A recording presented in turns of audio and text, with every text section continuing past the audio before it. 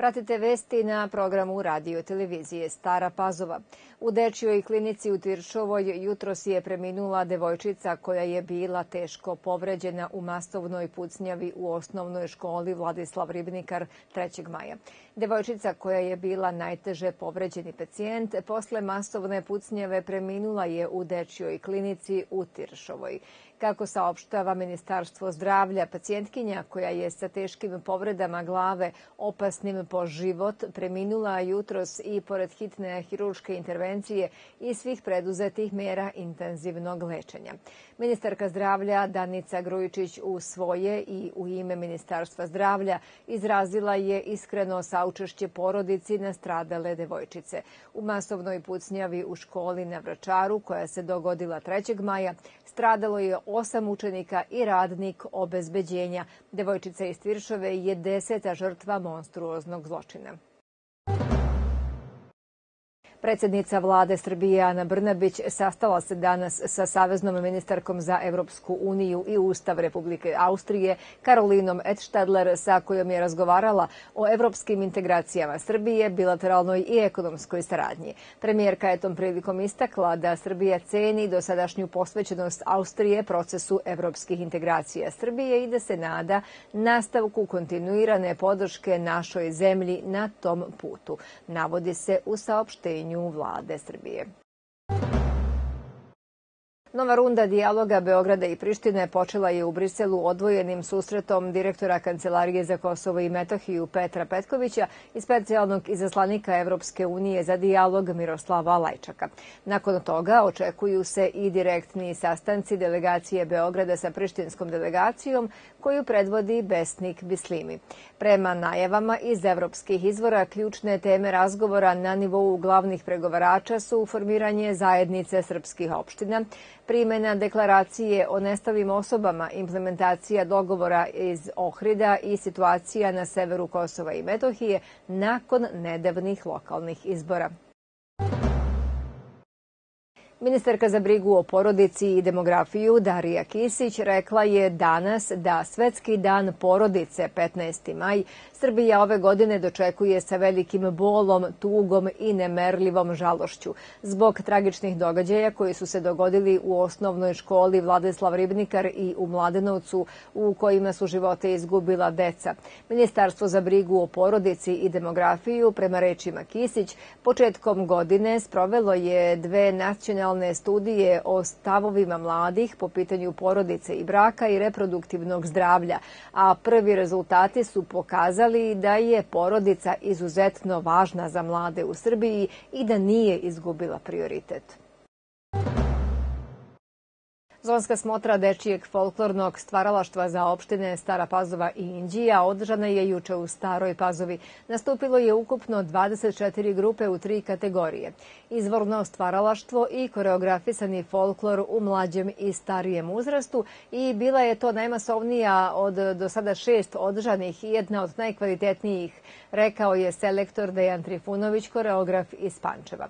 On je pohvalio to što se u ovoj sredini neguje izvorno stvaralaštvo stvaralaštvo, a četiri ansambla koja su nastupila u ovoj kategoriji bila su iz Vojke, Belegiša i društva Branko Radičević i heroj Janko Čmelik iz Stare Pazove.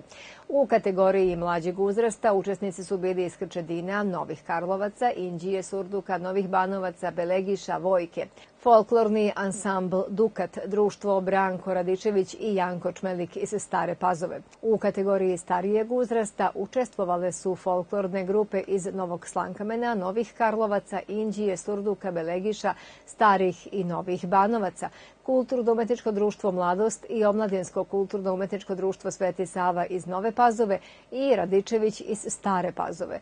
U Vojvodini je ukupno sedam zona, a već u toku ove nedelje trebalo bi da bude poznato ko će nastupiti na muzičkom festivalu Dece Vojvodine u Bačkoj Topoli i na festivalu izvornog stvaralaštva Panonski Vašar.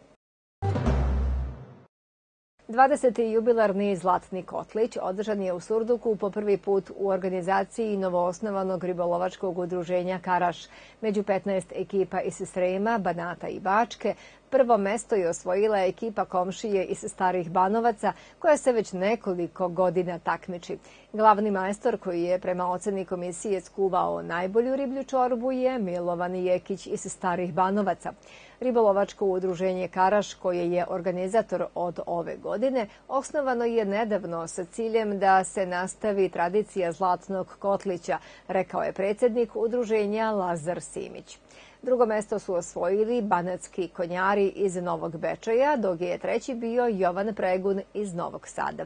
Ovu manifestaciju je kao i uvek podržala mesna zajednica Surduk i lokalna samouprava. Servisna informacija se odnosi na planirana isključenja struje za sutra. Iz EPS-a najavljuju elektromontažne radove u Staroj Pazovi, kada od 9 do 11 časova struje neće imati potrošači u ulici Đure Domonija od brojeva 17 i 30 do ulice Mihala Babinke. Od 11 i 30 do 13 i 30 bez struje ostaju potrošači u istoj ulici, dakle Đure Domonija od početka do brojeva 15 i 28. Istog dana planirano je isključenje struje u Belegišu od 9 do 14 časova u sledećim ulicama. Pere Radinovića, Dušana Gradića, Braće Vlašić, Srete Radinovića, Zdravka Kostića, ulica Sonje Marinković, Srete Adamovića, Kralje Petra od brojeva 54 i 49 do kraja ulice, zatim, zatim ulice Evere Miščević, Steve Petrovića, Svetozara Miletića, kao i ulica Vuka Karadžića od sredine do kraja.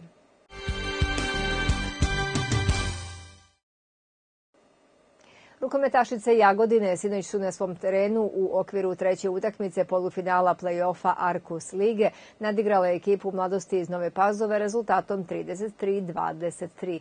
Pazovčanke su dobro otvorile meč, povele sa 3-1, ali je domaćinu pet minuta bilo dovoljno da se konsoliduje, iskoristi propuštene šanse protivnica i preokrene rezultat. Pokušala je Leposava Glušica da motiviše svoje sa igračice, pogađala sa distance od 9 metara, ali njen učinak od 9 golova nije bio dovoljan da se mladost vrati u meč i pruži veći otpor Jagodini, koja je nesporno bila favorit u ovom polufinalu. Osvajačice Kupa i Superkupa Srbije borit će se za treći trofej ove sezone, dok je pred novopazovačkom ekipom borba za treće mesto protiv Bekamenta BB.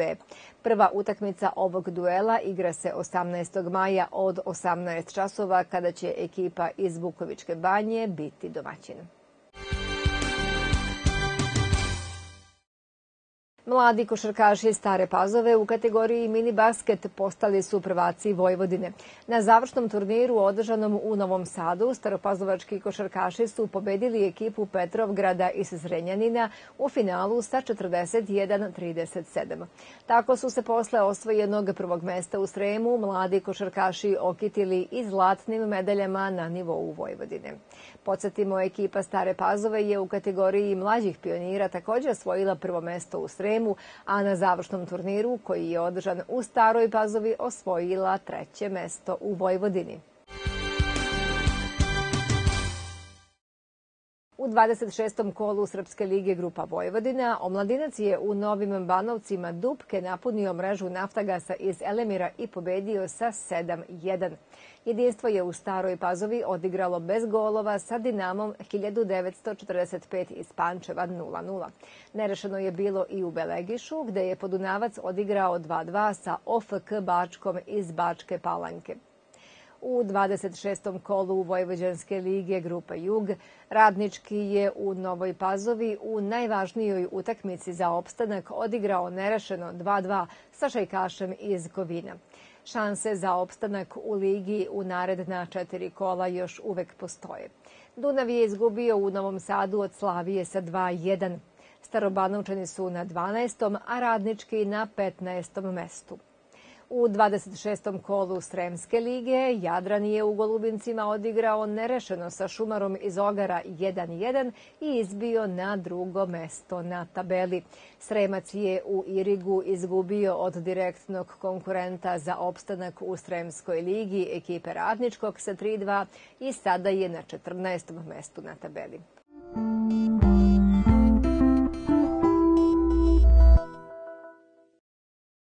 Sutra promenljivo oblačno, mestimično sa kišom i lokalnim pljuskovima sa grmljavinom. Vetar slab i umeren u Košavskom području i jak jugoistočni, a na jugu Banata i u Donjem Podunavlju i sa udarima olujne jačine.